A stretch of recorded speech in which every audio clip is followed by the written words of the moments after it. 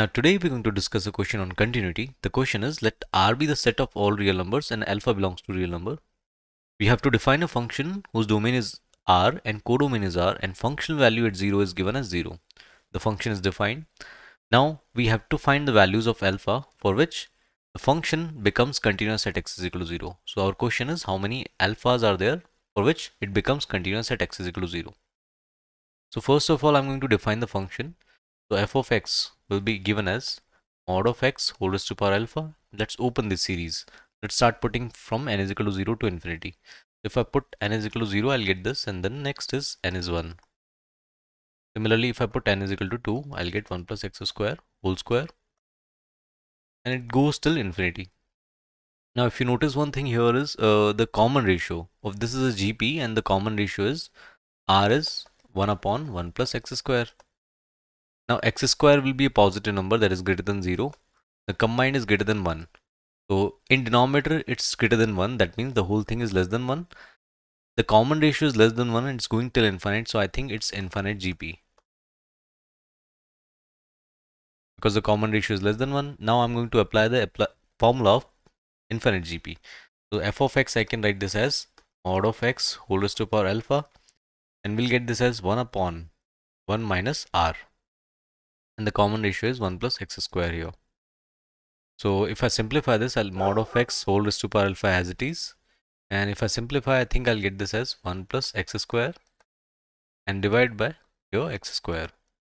Let me further simplify this and let me club this with x square and mod.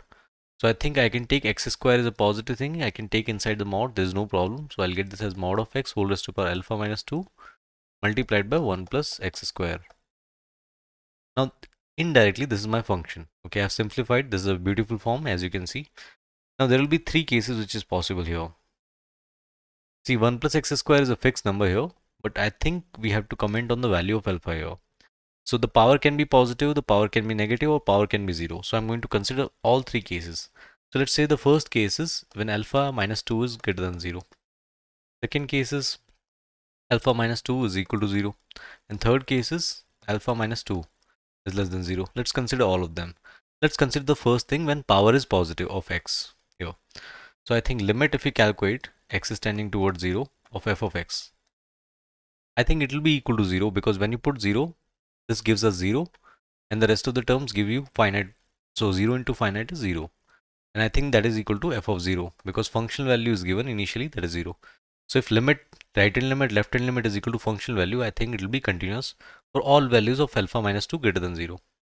Second, again limit x is tending towards 0, f of x if you calculate for alpha minus 2 exactly 0. I think it will be equal to, for exactly equal to 0, I think it will be equal to uh, 1 here and this will be not equal to f of 0. So I think this is not our case. Alpha minus 2 should be greater than 0. If it is equal to 0, it's not continuous because the limit is equal to 1 as you can see here. Now the third case here, limit x is tending towards 0, f of x, when the power is less than 2. Okay. When alpha is less than 2, alpha minus 2 is less than 0. So here I think the limit does not exist here. Why? Because you will get 1 plus x square upon x raised to power mod of x raised to power 2 minus alpha and the power of degree of denom denominator is bigger than numerator. Okay.